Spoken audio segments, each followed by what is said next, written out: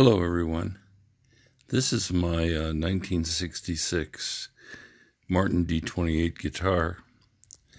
And people ask me sometimes, why do folks like those old Martin guitars so much?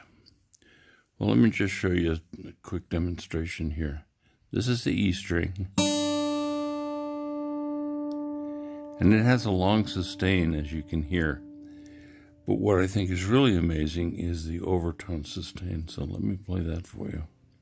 Okay, ready? Go.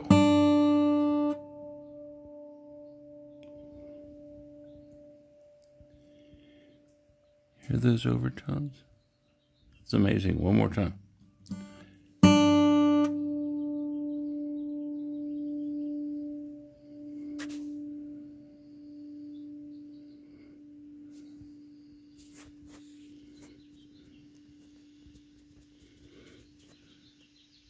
This is the guitar that went to Vietnam with me.